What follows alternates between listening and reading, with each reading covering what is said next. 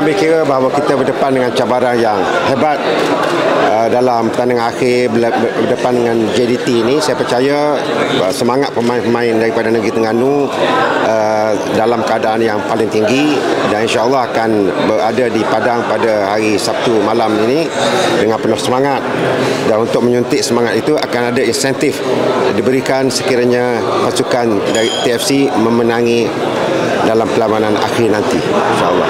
So apa harapan Datuk Sri untuk player-player kita Harapan mereka memperbaiki kelemahan dalam pertandingan semifinal hari itu dan uh, sekiranya saya percaya sekiranya kelemahan itu diperbaiki insyaallah dalam pertandingan akhir ini tidak tidak tidak ada sebab untuk kita tidak boleh menewaskan pasukan JDT.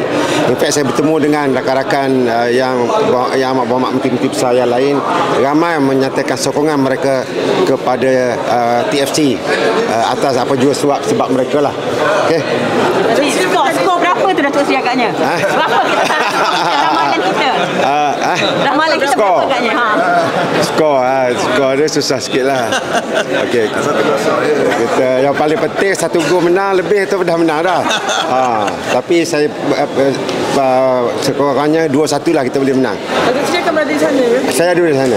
Okay. Sikit kata untuk penyokong terutama segelintir penyokong sekarang ni yang yang buat kacau di stadium dan sebagainya kalau menang kalah kalau kalah Ya, saya percaya walau apa juga keputusan kita menang ataupun kita tidak mendapat gol yang sepatutnya pasukan-pasukan uh, penyokong daripada Tengganu uh, hendaklah uh, dalam keadaan tenang uh, kira, ingat dunia jangan tak ingat dunia uh, okey dan uh, dengan penuh uh, betul tata tertib lah kita di sana. Sama ada kita menang ataupun kita uh,